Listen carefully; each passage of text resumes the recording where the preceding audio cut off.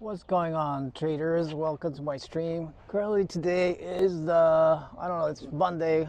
We had a couple of movers here today, and I just want to discuss how I how the week went and how the day went. Today is Monday. Let me let me raise this just a little bit higher. There we go.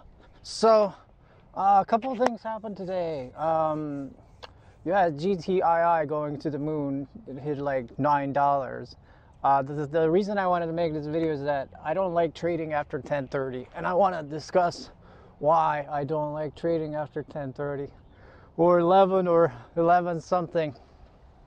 Anyway, so um, the reason I don't like trading after 10:30 is because there's a lack of uh, volume, and some of the breakouts that happen, uh, they might just fail. There was a, there was a there was a breakout today that happened. It was alerted in chat I think it was SOBR in the middle of the day. And I watched it and I, you know, stayed back and I didn't do anything. It was SOBR or something like that. I don't remember which one it was, but anyway, the stock broke like, I don't know, 320 or something, went to 350 and it dumped like 250. I don't remember which ticker it was, but uh, this was a midday breakout. So, so after after 11, looking, you know, it's very um, it's very choppy. So I avoid I avoid that type of trading. That's for sure. I avoid volume, low volume, choppy, sideways. So I avoid. So after 10:30, 11, I'm like I'm good. I made my money, and uh, I pretty much uh, pretty much pretty much get out of there. So uh, the only the best time to trade is actually between seven o'clock and like uh, 11 o'clock you avoid when the algos come in between 11 and 4, 11 and 3, and then you look for into the close movers. Um, today we had GTII, which pretty much went to the moon. You had a couple of other ones that went to the moon. ATHX, which I pretty much bought it at like, I don't know, I bought it Friday at around 860, sold it at 10, and then ATHX I bought it again at 12 and it hit I don't know 15. That was my greatest trade of the day. Just these these low floats. Uh, you know, it's it's really difficult out there in the markets. No doubt about it. We've been uh, selling off up on, from um, the beginning of the year, the worst, uh, the worst stock market, uh, the most yearly start uh, since uh, stock market history. Um, and we are technically in a bear market. We're kind of bouncing um, there's definitely some opportunity up there. There was a stock that went from like 10 cents up to like 50 cents. I don't know what it was, FHRX or something like that. That was a great trade. That was a great trade. And in, in the middle of the day, it actually broke like 40 cents and ran to like 60 cents. That's probably one of them that I should have uh, longed. Uh, not all of midday breakouts are going to fail, but the the probability of them succeeding is very slim. I mean, when when you the mo the mo where you get the volume is in the morning. That's when the traders come in. The traders come in in the morning. There's nobody waking up at three, two o'clock, uh, and then they're like, you know, stocks in order to go up, they need to move. If you don't have volume, they don't move. So, you know, if you if you missed, you, you didn't make money between seven and eleven, and then and then say you want to make up your losses and so forth. It's just you might as well start the next day because it's just gonna, you know, right now we've been a pretty hot market this week, I would have to say. There were a couple of short squeezes, and we had a couple of ones that have been going up like seven days in a row, which was pretty, pretty, uh, pretty crazy to have stocks go up seven days in a row, like GTII, and everybody's like watching my uh, YouTube streams on GTI. What am I supposed to say? I don't know. It's holding green on the day, which is over 650 or over 550 and uh, so far it's just it's just it's there. As long as it's holding green on the day that uh, the, the the thing is good. I honestly think it's done. It hit nine dollars is the end. You buy it into friday you sell it into monday uh, it's game over. But i don't know maybe it'll just go even higher. I, I don't know. I i always i always sell too soon sometimes and uh, don't cut my losses too soon either sometimes so it's just a matter of being the best trader you can be so you should avoid trading after 11 o'clock. That's for sure. Anyway, Uh, trading is difficult. 90% of traders lose money. I mean, a lot of people are just gonna, you know, it requires discipline. I preach to, you know, track data, to be disciplined, to study. Probably studying would be something that I really preach a lot for you guys to do. Study, I mean, when I was like a couple of three, four, or five years ago, I, I put on my iPad every single course I could and I would used to watch it and watch it and watch it. And I'm like, where's this midday low float, breakout, intraday, and all that? And I was like, where? And I was just sitting there and I was watching it. Broke, broke, had no money, uh, was unsuccessful. Uh, you know, I had problems, and um, you know, but I kept studying. You have to continuously study, even when you're losing, and even when shit sucks. Because uh, if you don't, it's just it's the end it, it's it's game over only when you quit. The thing I'm trying to get you guys to understand. It's game over only when it when you quit. As soon as you quit, you either are progressing or regressing. That's the same thing with picking up girls. You're either progressing or you're regressing. Same thing with trading. Either you're progressing or regressing. Same thing with fitness. Either you're progressing or regressing. Right now, I'm just cutting out some carbs out of my diet because I've been trading and working for too freaking long. So you can see you see me just a little bit more puffy than usual because I take all my aspects of my life seriously, including my mind, my body, of course, my lovely spirit, which is pretty intact, I would say, supposedly all the trauma that we all go through. So actually, this amazing uh, Gatorade, this is the Gatorade that has 10 grams of protein, by the way. I just got this. You never, you always got to have the most amount of protein. Anyway, so the book I've been reading today is that you know you have to be disciplined. That's the thing. Of, I, I I'm reading like some some something of the gods online right now. Uh, I just downloaded a book. It was talking about this book that you know once you lose your track and once you lose your focus and once you lose discipline and once you lose your morals and you put you don't put in the time and you have like this instant gratification economy and instant gratification people you're just gonna have a bunch of losers bunch of entitled losers out there they're just gonna you know they're just gonna expect a quick fix i mean you might show up on november december january and like you know have a stock going to the freaking moon but I mean, in the long, long scheme of things, if you don't have stop losses, if you don't know what you're doing, if you're just YOLOing it, I mean, every single guy that was YOLOing and following YouTube videos about crypto lost all its money. And I had plenty of friends that did that. And I'm like, hey, you have to sell. Hey, don't look at it as it's going down. Hey, don't don't drink the Kool-Aid. Hey, but they didn't listen and they probably lost more than they made in their crypto stuff. So now they're like, they're like, whatever, what am I supposed to do now? I don't know. I told you what you need to do. It's the same thing with this trading, small caps and OTCs. You have to lock in your profit and not look at them. You cannot just hold empty bags. If you're down more than 20%, get out. If you're down more than, I don't know, 1500 or maximum loss per ticker, you got to get out.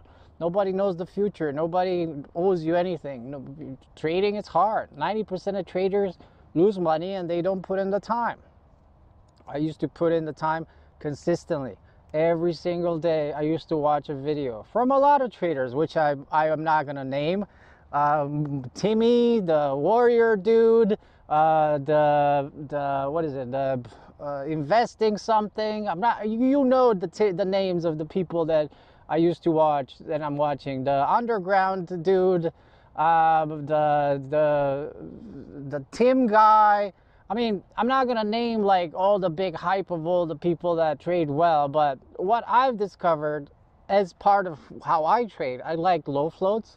I like to wake up in the morning and I like to buy them. And I like buying OTCs. And I take, you know, 40 cents a share and I come in and I come out. And then I leave 10 30, 11, unless I see something exciting, unless we're something in the market. It's been working out great the, the, the key ingredient here is to have a maximum loss per ticker and maximum loss per day, like a broker liquidation. Because otherwise, I mean, if you're on the wrong side of the trade, like I was on ATXI on Tuesday, I was shorting it at five, the broker eventually bought me in, you can pretty much end your career in one stock. Trading is rewarding, but you know, you need to have your safety um, safety rails uh, there just in case you just press the wrong button and you're on the wrong side of the, tr- the trade. Nowadays, I, I, I, do pretty well now. I do pretty well. No, I did pretty well today. I, I had a 20% profit, a 12% profit, and then another like 5% profit. So overall, I traded the top tickers and then another one I had a loss. So that was that, that was it.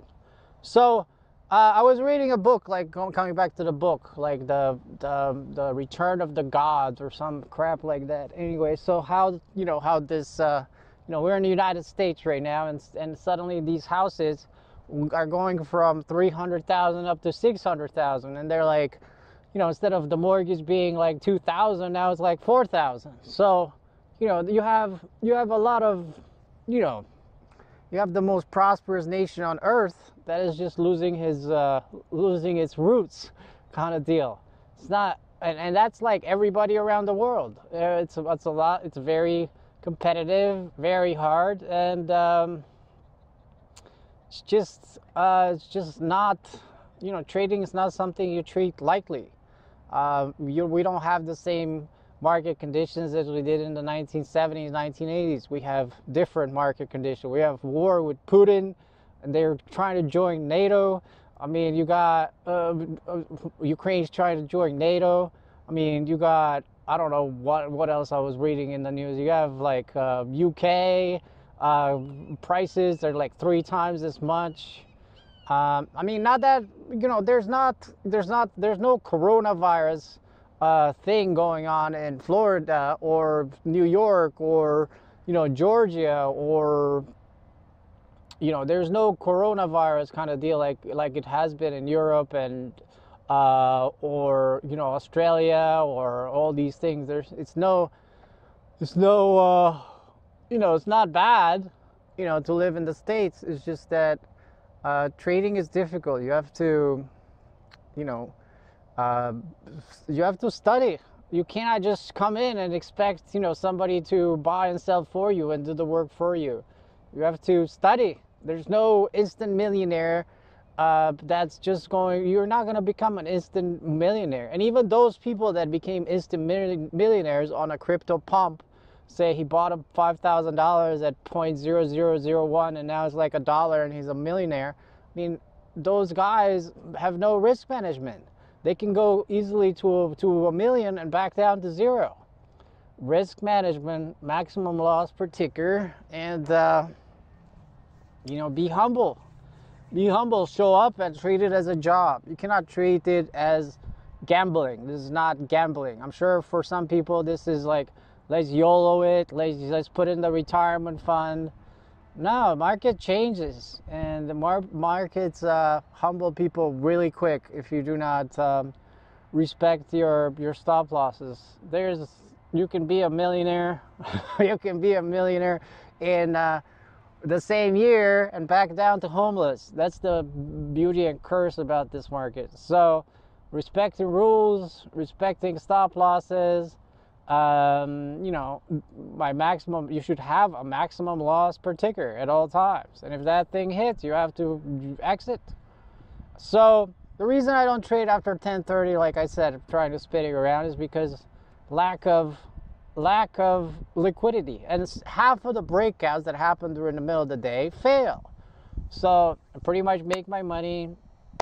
I study up in the middle of the day. I look at the gainers that happen during the day so I can trade the next day and then I repeat and I move on. But the thing about this, you know, recession, inflation, whatever, this is felt all around the world. And uh, we just lost our ways of doing the work. You have to do the work.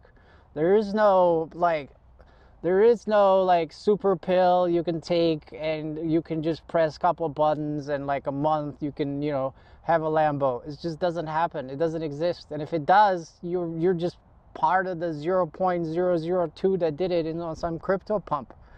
You have to put in the work, have to study, have to watch the videos, have to put in the time and the hours. I mean, at one point, I was watching so many stocks, you know, I, I pretty much, yeah, it's, yeah, I've been trading for a long time, let me put it that way, and I've been watching the market for a long time, and I have, uh, I have a pretty good um, understanding of it, and uh, you're gonna have to, you know, study. There's no way around it. You're gonna have to study, but you should not trade after 11:30. You should not trade after 10:30 because half of them are failed breakouts, and it's and especially in a slow market, they become choppy and they become into like a channel. That is probably the reason why uh, I don't trade after 11. Um, so that's about it. I'm gonna leave it as that. It's been a pleasure. You you gotta go outside. You gotta recharge your batteries. What I like to do is I like to go into nature.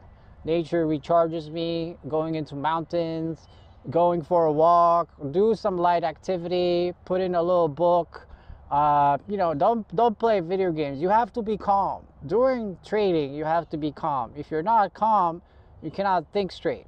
If you cannot think straight, you press the wrong button and you and you get emotional and you buy too high, or sell too low, and then it's just ruined. You have to be in sync with the market and you have to be zen. Like you have to be in zero. Neither happy, neither sad. You have to be in the middle and just trade what you see that's all I gotta that's all I gotta say. Make sure you take take the time to recharge your batteries. A lot of people go through like this marathon, like two three months of trading every single day, seven o'clock, make their money, and then do it, do it, do it, do it, and then they give it back, and then they give back all their profits, you know, after two months of trading with one bad trade. So you have to recharge your batteries. You have to have maximum loss. You have to treat it as a business because uh, you know it could be rewarding. Like and uh, like i said it's it's a marathon. It's not a sprint. You know have some audible books. What what i like to read right now the return of the gods or something like that. Some frederick i read i read i read the latest frederick dodson. I think it was the reality creation i don't know number seven book number seven essays essays on something I, I, I listened to that guy. That guy's pretty cool. He's he's he's very enlightening, and uh, you know I, I, read about like macro deals, but you know people uh, around the world are not really excited about this situation in the markets. They're not excited about the situation worldwide with the food inflation, with the um, cost of living. We're not really living in a an abundant economy, more like a recession and uh, but but if you do the work i mean and you have good risk management you study and you watch and you i mean you can come out with a really good decent living. And if you f- avoid dating the wrong chicks. Because i'm because most of my most of my subs are male. And uh, girls these days are not really the marriageable type. Uh, avoid the avoid the dating the non-marriageable type that's for sure. Um, but um, as long as you do that, I think you'll be all right. You'll be all right. You know, just keep on, um, keep on d- drilling at it, drilling at it, because one day it'll just be worth it. It'll just, um, you'll just come out ahead, and you'll be looking at your friends, and you're like, you know, you'll be looking at your best, your ex best friend, and you'll be like, you're a loser. You know, I'm traveling the world. You know having models trying to lock me down in a relationship, which I don't want. I don't want a model that has that that is good want me as a relationship there. Not not not not lately. Not not the not the post wall or the pre wall ones. I want like the young ones, the 22 year olds. You're gonna be looking at your friends and they're all broke and envious, and you're gonna have to complain to them how hard this life is and how difficult it is to pay your bills and you're going to have to lie to them to not have them ask you how well you know what are your actual numbers and you're going to lie to them and it's going to be great. And you're going to live a good life. But you have to do the work. If you do the work it's going to be great. If you do not do the work and if you you're some entitled person that's just going to you know watch a movie uh, gone in 60 seconds or some movies just it's just not gonna happen. It's just not gonna happen. So avoid trading between 11 o'clock and 3 p.m. Recharge your batteries. Do something healthy. I like to take care of my body. And this is our body's our temple, and you should you should always always always um, you know treat yourself well because you know don't let anybody tell you that you can't do it. You can do it. If you put in the time, you can do it. You can put in the time, you will get there. And uh, I mean, the market changes. From one week it's bearish, from one week it's bullish. You're gonna have to, you know, handle those highs and lows. And you can handle them by being in Zen mode. Practice meditation, practice going in the woods. That's what I like doing. I like going in the woods to be by myself, by my thoughts, and how and center myself, and not you know let anybody's opinion influence me. Because if you let anybody's opinion influence me, like some guy's anger or some guy's euphoria, you're just not gonna think straight. And um, you know, trading is a very lonely business. That's why, uh, but that's why I got the chat room for you guys to come in there and uh, you know talk about some tickers so we can trade them tomorrow. It's been a pleasure. You guys have a good one. Peace out. I'm gonna go back to my stuff. All the best, and hope you guys, uh, you know, are enjoying your life as I am. Peace out.